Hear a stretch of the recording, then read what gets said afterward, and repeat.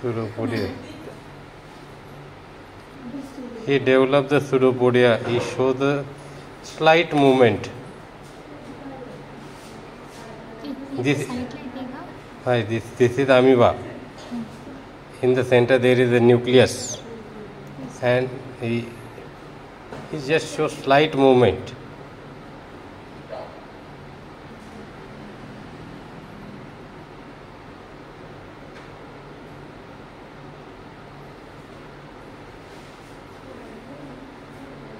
if you continuously focus on it then it will be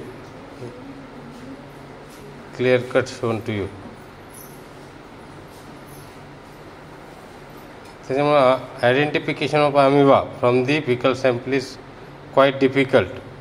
But if you make concentration on any moving body or any such a body, then you should be uh, you should be uh, identified. This is amoeba or not. Continuous त्याच्यावर आपल्याला observation करावं लागेल